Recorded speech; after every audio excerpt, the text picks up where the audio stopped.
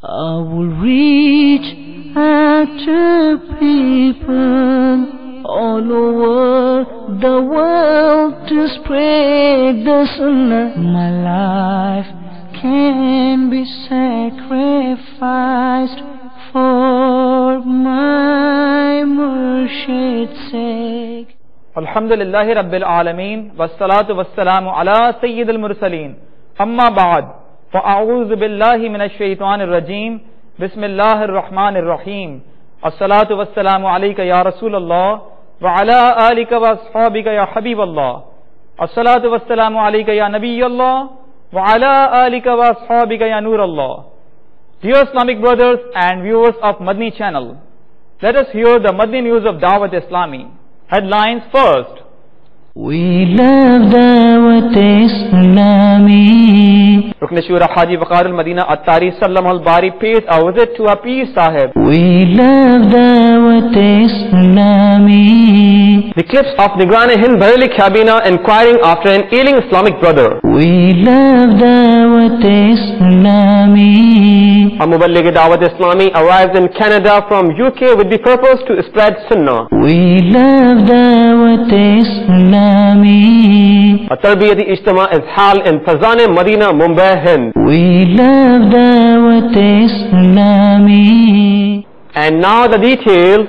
Mubalik Dawat Islami and Rukn Shura. Abu Anwarul Madina Haji Muhammad Bakarul Madina Atari, Sallam al Bari, accompanied by other Islamic brothers, had an honor of meeting with Maulana Peer Bakr Shah Sahib Damat Barakatum Aliya, during his ailment. Meanwhile, a cheerful dua was observed for his recovery. Let's take a look.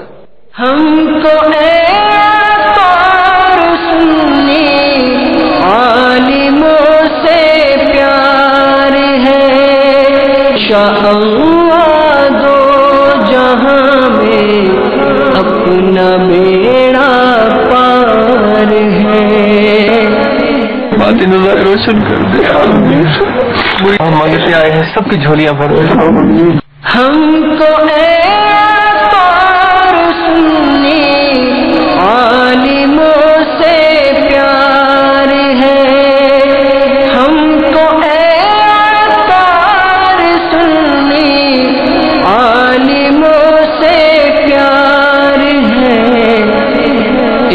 इंशाअल्लाह दो जहां में अपना बेड़ा पार है इंशाअल्लाह दो जहां में अपना बेड़ा पार है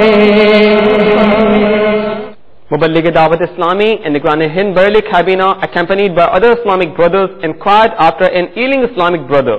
Meanwhile, was also observe for دکھابی جو بیمار آئے شفا پا کے جائے جو بیمار آئے شفا پا کے جائے سکھا دے مجھے ऐसा दम या इलाही सिखा दे मुझे ऐसा दम या इलाही Our Muballigh Islami arrived in Canada from UK with the purpose to publicize the invitation towards righteousness and to spread Sunnah where he delivered Sunnah's five bayan.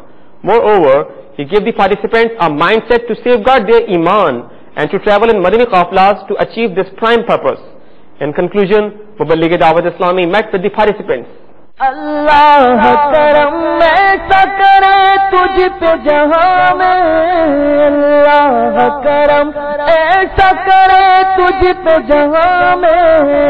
اے دعوت اسلام تیری دھوم مچی گو ای دعوتی سلام تیری دھوم مچی گو اللہ کرم میں سکرے تجھ جہاں میں اللہ کرم ایسا کرے تجھ جہاں میں اللہ کرم ایسا کرے تجھ تو جہاں میں اے دعوت اسلام تیری دھوم مچی ہو اے دعوت اسلام تیری دھوم مچی اے دعوت دعوت اسلام اسلام تیری تیری دھوم دھوم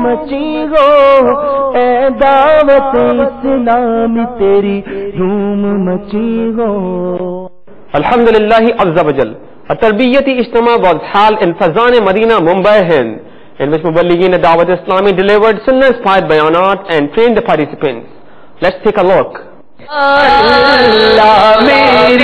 جھولی اللہ میری دے یا اللہ میری جھولی یا اللہ میری دے یا اللہ میری بھر دے